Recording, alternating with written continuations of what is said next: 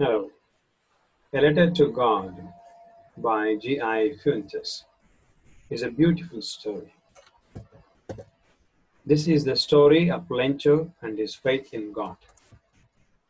Lencho is a farmer who writes a letter to God when his crops are ruined, asking for a hundred pesos.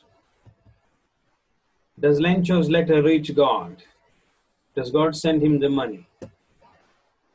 Let us begin to read the story. Lencho lived on the top of a hill. It was the only house in the valley. He grew corn. The corn that he grew needed some rain. Lencho sat looking at the sky throughout the day, anticipating rain. When they are eating their food, big drops of rain began to fall. He was happy that it rained and he went out of the house to feel the rain on his body. But suddenly, a strong wind began to blow, along with very large hailstone began to fall. It was getting bad. He hoped that rain would pass quickly, but it did not happen. It rained for an hour heavily, and the corn crop was totally destroyed. Lencho's soul was filled with sadness.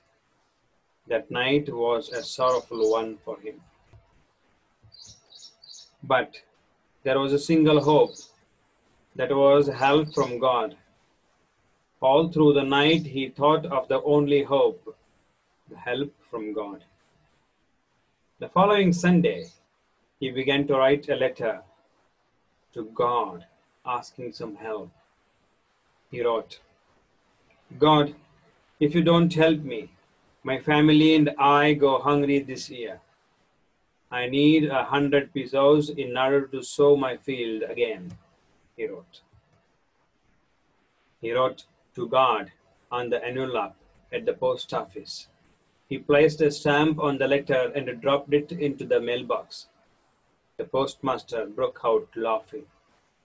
But almost immediately he turned serious and tapped the letter on his desk, commented, What faith! I wish I had the faith of the man who wrote this letter, he said.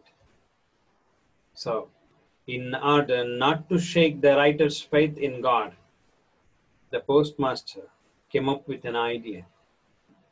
Answer the letter.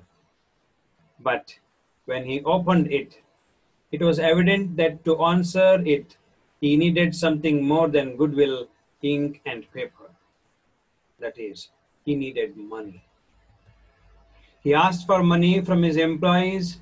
He himself gave part of his salary, and several friends of his were obliged to give something for an act of charity.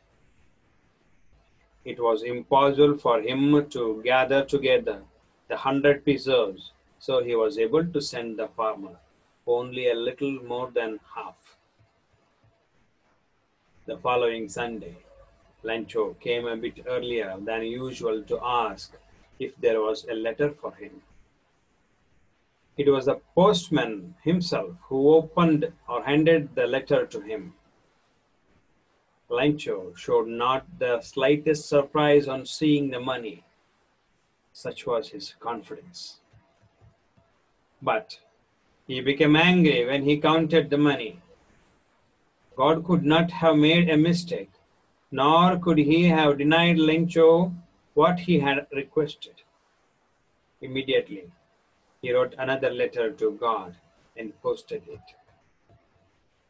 The moment the letter fell into the mailbox, the postmaster went to open it.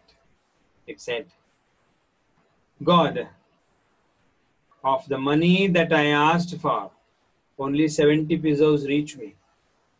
Send me the rest since I need it very much. But don't send it to me through the mail because the post office employees are a bunch of crooks. Lencho, he wrote. This is the end of the story. Thank you for listening.